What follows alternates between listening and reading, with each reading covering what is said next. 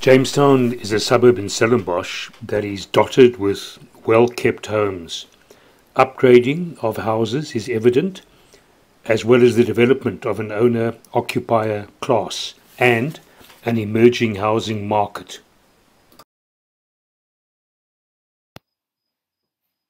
However, for those unable to afford the established housing market, life in Jamestown often appears hopeless. Stellenbosch Transparency interviewed six of these people. Yeah. Hulle is hier gebore, they've been born here. Ne? Okay.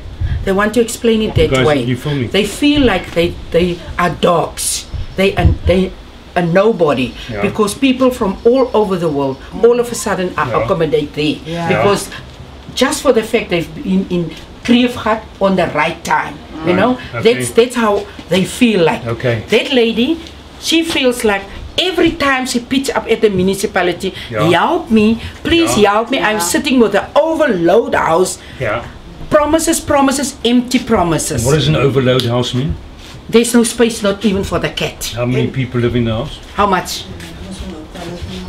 Oh, Jesus. See, it can't even count because there's a lot of grandkids. Okay. 15. 15. 15 with grandkids included. Toen ik vanmiddag, ik heb laatst jaar januari was ons daar. En hulle het die belofte aan ons gemaak. Mm. Hulle gaan hierdie jaar ja. begin vir ons die huise bou. Is waar? Nou, laas maand dat die vergadering is, toe se baie opset. Toe hoor ek 20, 20, 20, 20. Wat jy sê maar, as 'n ou vrou as 'n pensionaris. Sê wat jy betaal. As dit vir my baie seer mm. om te dank. Alleen, ek moet eet uit my pensioen uit. Ek moet my rent betaal as 900 rand. Wil ek betaal. Ek het nou die dag Woensdag toe sê ek leeg in my huis. Het ek gestap, gestapt, gestapt maand naar mijn renplek toe. Hmm. Want ik zat leeg, maar ik ben mijn ren gaan betalen. Ik ben hier lang gaan liggen. Zie mij eens. Ah, zie mij eens. Boer het niet Hij ben nu 21 jaar. En hij ijs. Nou, ik en mijn... Zat de dokter. My kinders en seun en haar nog kinders. Wat in daai huis bly. Maar nou is hoor as nou iets. Sommige net soos 'n vrot bitat. Ja. As mos hier reg. Maar ek het vir hom gewerk. Afgepensioen. En hy het afgepensioen. Nou hoe kan hy dan net jou nou uitgooi? Uitgooi. Hy het jou eers daar ingesit en nou ja, jou ja. uit. Nou wil my uitsit ja. ja. Ek moet nou rede. Zijn reden. Hij wil die plek verkopen. Hij wil die plek verkopen. Hij wil die plek maar nog verkopen. Maar nou zeg ik, als hij die plek verkoopt, moet hij eerst een, een plek geven. Maar hij wil hier om die plek te geven. En ik heb nog Uh,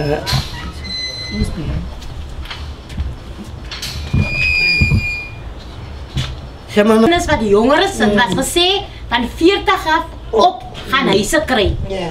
En daar ek kan getuig daar is um, wat ek ken wat jongers, veel jonger as wat ek is. Ja. Hulle is maar net getroud, ek is nie getroud nie. Ja. En hulle het 'n huis gekry. Mm. So ek wil ook weet waar toe het my naam gegaan het want ek is 'n enkel ouer. Mm. Na my ma se sterfte was ek was ons uitgesit het die huis uit. Uitgegooi. Ek het al so ver gebly dat ek in 'n tent gebly het. Waar ek uitgegooi uitgegooi van watte van watte huis. Hier waar hulle gebly het, die rebellie. Die mense gesê ons rent wat agter en dit was nie so gewees nie. Want ek het gesorg dat ons rent ja gemaak. Dit was jy het hier in Jamestown gerent. En nie Jamestown. En nie Jamestown. En toe het ek opgeëindig in 'n tent waar ons winter en somer te gegaan het. Ons wintertye afgekom met van ons beddens af. Dat trap ons in die water. Hmm. On the Stellenbosch Transparency website, you will find a full documentary on fear and loathing in the lives of these people in the otherwise attractive looking suburb of Jamestown. In 2015, the municipality had identified 80 Jamestown residents needing RDP housing. They and others were on a waiting list for new RDP housing in phase one of the Jamestown housing project. However, the waiting list was adjusted twice, each time a significant number of Jamestown residents' names were deleted from these lists. This caused frustration, anger, and helplessness. As far as these residents are concerned, others have been moved up unfairly and jumped over them on the waiting list.